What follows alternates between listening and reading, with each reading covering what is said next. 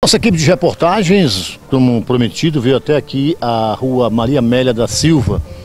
É... Para você ter uma ideia e se situar de onde nós estamos, aqui nessa área era justamente o campo do time do Colorado. Era, porque hoje é só né, um loteamento.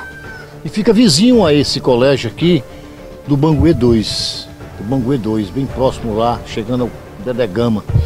Mas aqui nós observamos que o posto era aqui, ó. Só para você ter a noção da localização. Um posto que é uma casa comum que está sendo adequado para receber, receber. Gente, mas o mais interessante é que você irá observar agora. Logo ali, a menos de 150 metros, aquele chamado elefante branco. Isso, porque ali é uma obra abandonada, uma obra onde que na verdade poderia estar sendo servido como posto de saúde. O que será um posto de saúde no futuro, acreditamos. Mas ali está paralisada. Não sabemos há quanto tempo. Aqui os homens estão trabalhando. Possivelmente hoje sexta-feira, hoje é sexta-feira, dia 28. Dia 28. Acreditamos que até a próxima semana, né, a, as pessoas que precisarem desse posto poderão ser atendidas aqui. Tem toda uma equipe trabalhando aqui, né, colocando portas, né, se adequando. E repito, aqui é uma casa de morada, mas que será adequada para receber o, as pessoas que aqui precisam ser atendidas. Mas agora nós iremos até né, até a, o posto que está em construção. Aqui, todos os móveis que foram retirados lá da casa né, e veio para cá, para que possa ser assim, digamos, colocado para um posto de saúde do Banguê 2. E agora nós iremos até ao posto que está sendo em construção para mostrar como está a situação por lá.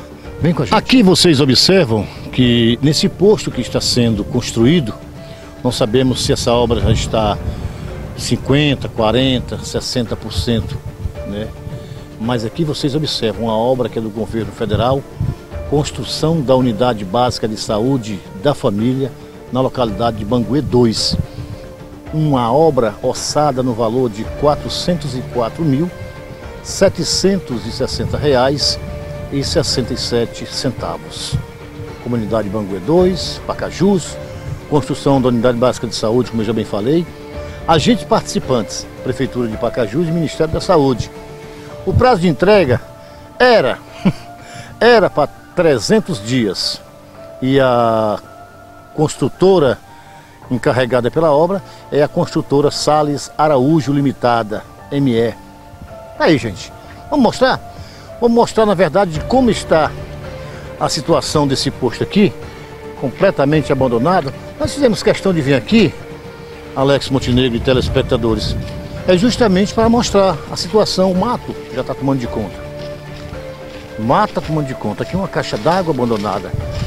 E ali, esse posto, a infiltração já, já, já está tomando de conta também. Aqui uma obra que veio desde a gestão passada. Não sabemos ainda se é, já é dada como concluída, que acontece por muitas vezes é isso aí. Aqui, olha só, cerâmica. É um desperdício, olha aqui, ó. Aqui o reboco da laje já está caindo.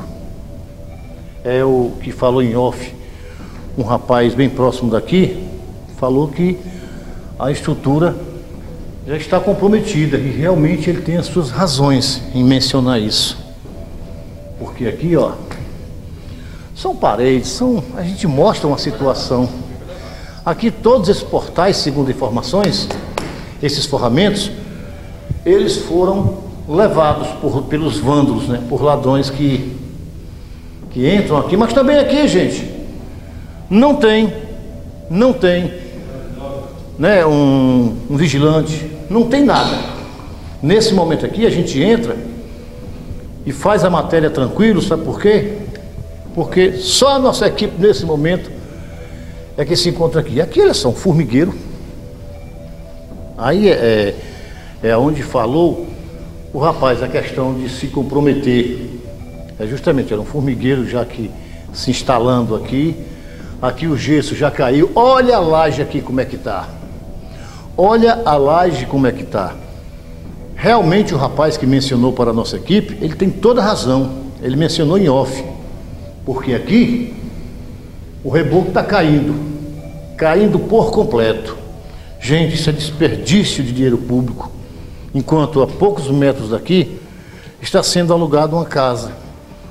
Não sei, eu não sou engenheiro, é bem verdade, mas não seria melhor se recuperar ou fazer alguma coisa, eu não sei, para que uma obra como essa, que pertence ao município, uma obra como essa que pertence ao município, possa assim ser aproveitada de maneira de maneira eficaz. Aqui ao invés de você pagar aluguel, ela ficaria para sempre. Passa a gestão, entra a gestão e a cantiga é uma só. A cantiga é uma só. Aqui já fora, já fora do posto, ele que é todo murado, mas é assim, olha só. Olha aqui, gente, a caixa d'água, você mostra aqui, aqui. Essa caixa d'água que você acreditamos servir como cisterna, né? Servir como cisterna. Meu Deus, é muito descaso. No nosso dia a dia, levado foi a tampa da, da ida do consumidor, do sumidouro.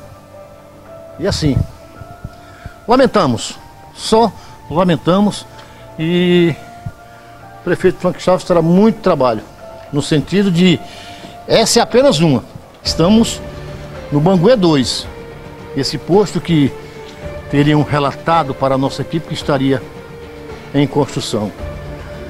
O posto lá está sendo adequado, enquanto um posto que é projetado está simplesmente abandonado. Tá aí, gente, dessa forma, a gente encerra essa matéria para mostrar às autoridades de como estão, como estão, ou melhor, os fatos aqui no município de Pacajus, no estado do Ceará. Eu volto com você, Alex Montenegro.